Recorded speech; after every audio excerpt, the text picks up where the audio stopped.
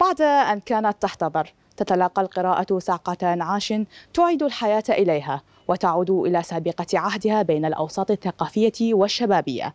القراءة الورقية في العراق قصة صحوة بعد موت محتم.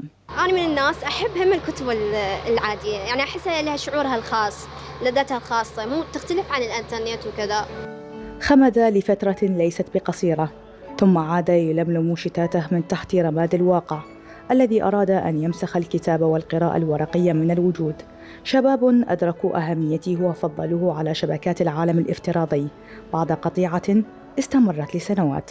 الحمد لله اكو تزايد يعني على إقبال على الكتب يعني حتى بأعمار مختلفة يعني ممكن نشوف يعني حتى تحت سن ال 18 إلى سن الكهولة يعني ما ننسى إنه مجال التأليف والكتاب توسع يعني هسه تلقى يعني مؤلفات بكل المجالات يعني مثلا مجال الطاقة، تاريخ، السياسة، آلاف الكتب.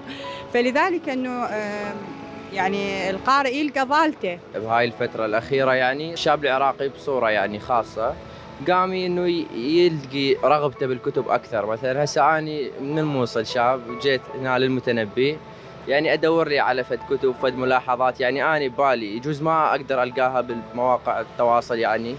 فأجي يعني أدورها هنا والقيها يجوز ألقي رغبتي بها أكثر من ما يعني أتعمق بالسوشيال ميديا هذا الرجوع يعزوه رواد الكتاب لمن يعطيه من معلومات قيمة تداعب العقل وتحاكي الأرواح بطريقة ساحرة لعل هذه الصفات غير متوفرة في الكتب الرقمية التي تصدرت على الكتاب الورقي في فترة معينة.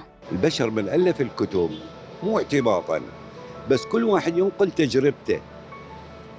تجربته بالحياة ينقلها يألفها في سبيل عامة الناس وهذا للفائدة. من كافة المجالات علوم رياضيات أو أو علوم فلسفية أنا بالنسبة لي إذا كان عندي بحث سريع فأستعين بمواقع التواصل الاجتماعي جوجل وغيرها. بس إذا أو مثلا المصادر اللي حتكون منشورة على جوجل أكيد.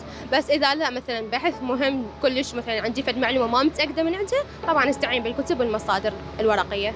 مع ازدياد عدد القراء تدريجيا يرتفع معها سقف الطلب على أصحاب المكتبات وإصداراتهم التي انتعشت مؤخرا.